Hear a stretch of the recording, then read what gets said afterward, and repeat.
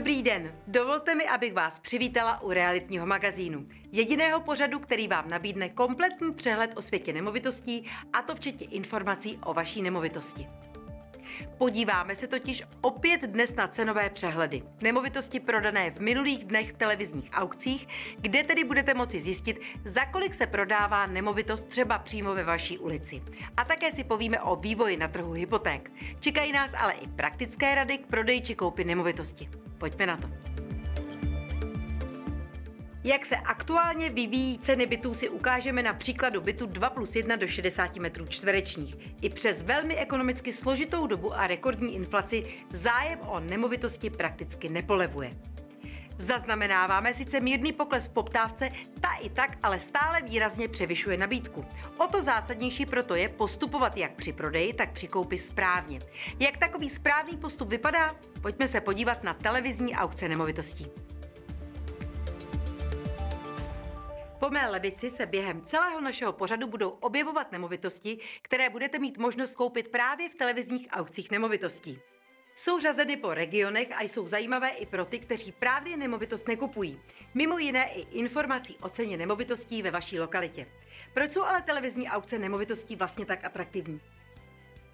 Pro prodávající je to pochopitelně důvod jasný. Vždy nejvyšší cena, kterou je ochoten trh nabídnout. Prodávající nechají kupující o svoji nemovitost soutěžit v transparentním ringu, kde platí jasná pravidla a kde žádný prodávající není konfrontován šikovnějším obchodníčkem, který umí prodávající srazit na ceně. Parametrem rozhodování je zde jednoznačně cena a absolutně se zde tak potvrzuje, že prodat dnes nemovitost prvnímu zájemci znamená výrazně poškodit svoje zájmy. Čím jsou ale televizní aukce nemovitostí zajímavé pro kupující? Svojí dostupností. Dle dat z největší realitní kanceláře u nás vyplývá, že naprostá většina kupujících se dnes setkává s tím, že jim jejich vysněná nemovitost utekla před nosem. Že někdo přišel dřív, použil páku přes známosti na makléře nebo prostě jen jednal extrémně rychle. Tímto postupem tak pochopitelně trpí obě strany. Televizní aukce nemovitostí mají emoční a lidský rozměr. Přitom jsou ale stoprocentně transparentní a férové. Konečně počet nabídek je toho celkem jasným důkazem. Na pár nemovitostí se teď podíváme společně s Honzou ve větším detailu. Ano, Alice, i dnes je nabídka velice pestrá. V televizních aukcích nemovitostí se objeví například tento družstevní byt 3 plus 1 v Jablonci nad Nisou nebo tato zrekonstruovaná družstevní 2 plus 1 v Karviné, která do aukce zamíří za vyvolávací cenu 1 690 tisíc. Zajímavá bude i televizní aukce družstevního bytu v Ostravě. Cena stanovená prodávajícím je 3 miliony 570 tisíc korun. Pozemek v Žíželicích na Ústecku má 10 278 metrů čtverečních a minimální cenu v aukci 955 854 koruny. Ve stejném kraji se nabízí i tento pozemek, má 1487 metrů, začneme na 132 343 korunách. Stále na Ústecku, konkrétně v Lounech, je i tento rozlehlý pozemek s výměrou 155 752 metry čtvereční. V nabídce se objeví i tento rodinný dům v Moravské Třebové. Začínat budeme na částce 1 milion 499 tisíc korun. Ve výstavbě je aktuálně rodinný dům ve středočeské Chyňavě, který se v aukci objeví za 17 milionů 990 tisíc. A teď do Oldřichova v Hájích na Liberecku. U tohoto rodinného domu prodávající stanovil cenu 8,5 milionu korun. Zapojit se můžete i do aukce rodinného domu v Račicích Pístovicích. Startovat se bude na částce 5 milionů 490 tisíc. A na závěr ještě jeden pozemek v Olomouci, který by se v aukci také mohl objevit. Celkem jde o 489 metrů čtverečních. Nabídka je skutečně pestrá a věříme, že si mezi těmito nemovitostmi určitě vyberete. Pokud chcete kteroukoliv nemovitost z naší nabídky teď hned koupit, volejte na číslo 731 40 40 40. Rizika koupě a prodeje jsme tu už dnes řešili. Všechny, které lze ovlivnit, minimalizuje realitní kancelář a i když mnohdy panuje názor, že provize realitní kanceláři jsou vyhozené peníze, dnes vám dáme jeden z typů, který myslím celkem ilustruje, o jak mnoho se hraje. Podíváme se konkrétně na rozdíl mezi výpovědí a odstoupením od smlouvy. V případě výpovědi totiž zanikají práva a povinnosti okamžikem účinnosti výpovědi. Výpověď se tedy logicky nedotkne práv a povinností, které jí předchází. Například, pokud pro vás developer staví dům a vy vypovíte z nějakého důvodu smlouvu, je vše, co je již hotovo, vaše a celá akce se jen v uvozovkách doúčtuje. Mnohem komplikovanější situace ale nastane, pokud se pokusíte od smlouvy odstoupit. Smlouva se tím totiž takzvaně ruší od počátku. A to by čistě teoreticky mělo znamenat, že by obě strany měly vše vrátit do stavu před smlouvou. České právo říká, že od smlouvy lze odstoupit pouze v případech stanovených zákonem, anebo, a tady pozor, v případech dohodnutých mezi smluvními stranami. Stačí tedy jedna věta ve smlouvě a klička je na světě. Stejné je to i při koupi či prodeji nemovitosti. I proto se vám vyplatí řešit vše s realitní kanceláří. Ty dobré navíc za vše ručí, takže v případě problému nenechají vzniklou škodu ani na makléři, ani na klientovi. Nyní se ale už opět vracíme k cenám a k televizním aukcím. Podíváme se totiž na příběh, u něhož byly televizní kamery mimořádně i na druhé straně obrazovky. A protože se opět výrazně navyšovalo, emoce mi to jen jiskřilo. Právě se nacházíme v Kolovratech na nemovitosti, která byla vydražena v televizní aukci. A za chvíli se bude předávat novým majitelům. A já chci být u toho. V televizních aukcích nemovitostí to emocemi jen vře. To na vlastní kůži poznala i Lucie, která prodávala mezonetový byt v Kolovratech, makléřka MM Reality Veronika a kupující Petr, který zháněl větší byt pro svoji rodinu. Od nějakého listopadu jsme hledali a tohle jsme tam objevili, takže jsme zadali poptávku, pak se nám ozvali makléři s tím, že to půjde do televizní aukce. Já jsem se jenom na začátku toho spíš bál, aby to nebylo takový způsob obálkových metod. Čistý, jasný, férový, spravedlivý a to se mi líbilo.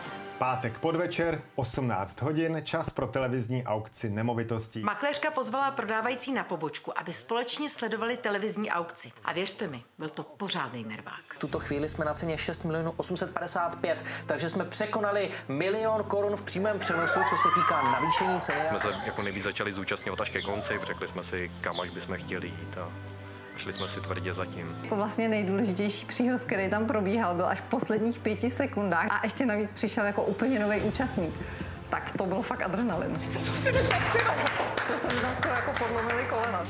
Tato nemovitost se v televizní aukci vyšplhala až na 7 milionů 600 tisíc korun, což je o 1 milion 750 tisíc víc, než byla vyvolávací cena. Krátce se nyní podíváme i na hypotéky. Intervence ČNB se pomalu, ale jistě začínají projevovat do úrokových sazeb. Máme tak možnost aktuálně sledovat jedny z nejvyšších sazeb v historii. Důležité ale je počítat i s růstem cen nemovitostí. Tedy pokud by vás odrazovala od hypotéky teze, že přeplatíte příliš mnoho, vemte vždy do úvahy, kolik by mohla stát nemovitost v okamžiku, kdy vám bude končit fixace. Tuto informaci vám mimochodem moji kolegové pravidelně dodávají u všech televizních aukcí. A na televizní aukce se nyní podíváme opět ve větším detailu. Vpravo na vaší obrazovce můžete sledovat nemovitosti, které jsou připraveny do vysílání a tedy i ke koupi.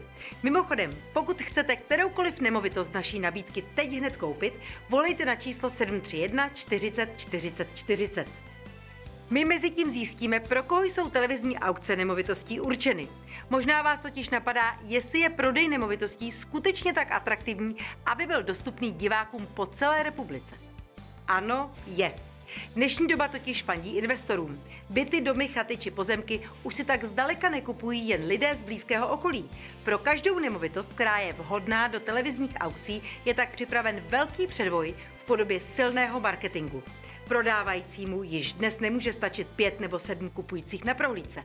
V prohlídkový den se na nemovitosti musí vystřídat doslova desítky zájemců.